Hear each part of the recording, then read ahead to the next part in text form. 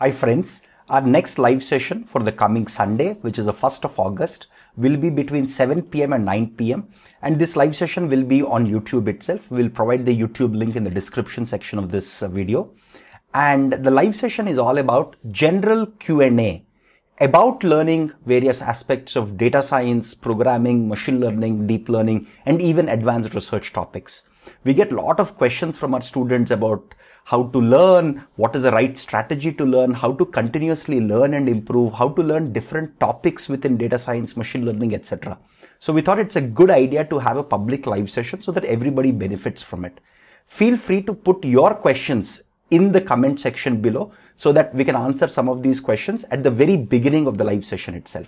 Again, this is a two hour live session. We would like it to be very interactive. So feel free to put your questions in the comment section of this video itself and also participate actively in the chat window of the actual live session. And we'll try and pick up uh, most widely asked questions or most frequently asked questions and we'll try to answer as many as possible in the two hour session. So see you on the coming Sunday, which is the 1st of August between 7 and 9 p.m. Again, on YouTube itself. Thank you very much.